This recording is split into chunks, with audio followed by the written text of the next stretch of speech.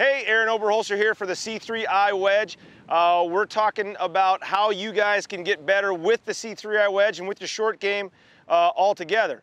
Um, right now, I want to talk to you guys about the standard default kind of chip shot, something that you can go to that uh, is reliable, is basic, and that really is hard to mess up, quite honestly. And something that you can use everywhere around the green except maybe the bunkers.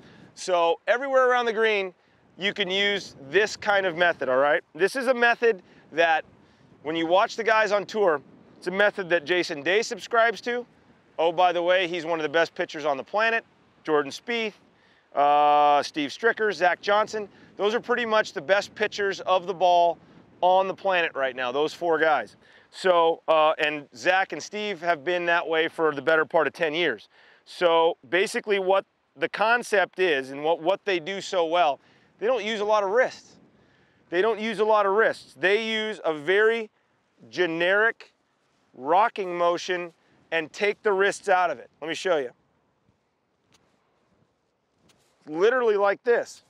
Hardly any wrist movement. A brushing of the grass. And making sure that that club face doesn't release over. 45 degrees at the finish, okay?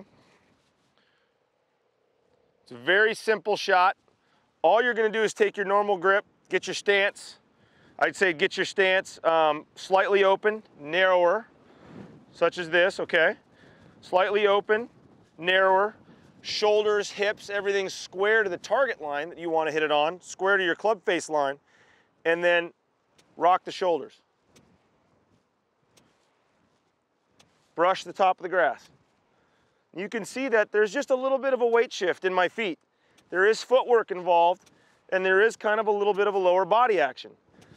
Something that a lot of people don't, that a lot of people don't recognize with chipping is that there is actually a little bit of lower body involved, okay? Let's show the chip. I'll show the motion right now down the line. You guys can watch it. I'm gonna hardly break my wrists at all.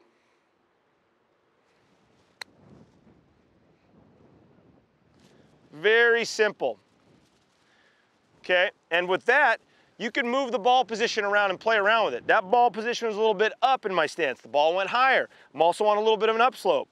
This ball position is gonna be a little bit lower.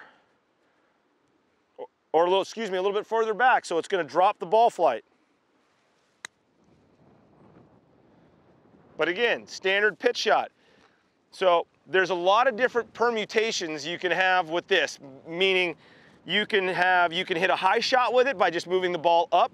You can hit a low shot with it by moving the ball back. So all you have to do is basically control your ball position to control your flight and your trajectory. You don't have to do anything else. If you want to hit it a running shot, you put it further back. You want to hit a softer shot, you put it further up. But the, the, the secret is to brush the top of the grass and to stay shallow through the ball, making sure that you don't break your wrists because what happens, what happens when you guys break your wrists a lot is that you're gonna come into the ball a different way every time.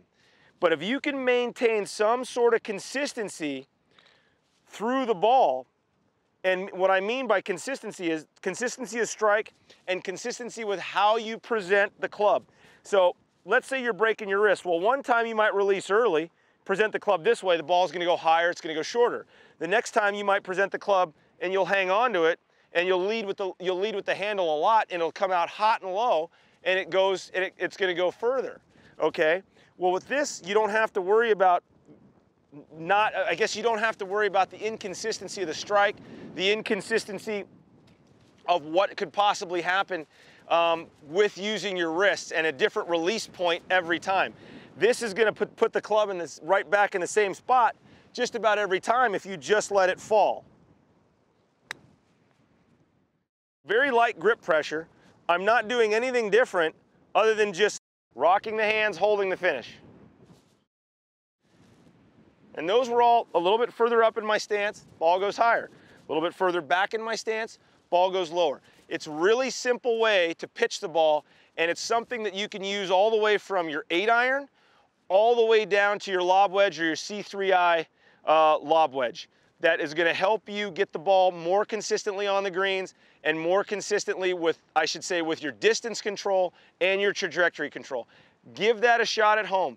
Learn to pitch like Jordan Spieth. Learn to pitch the way Jason Day and those guys do, and Steve Stricker and Zach Johnson, stiff-wristed, and meaning don't break the wrist. I don't mean be locked up, and I don't mean death grip the club, but just don't use a lot of wrist, and you will become a much better chipper, I promise.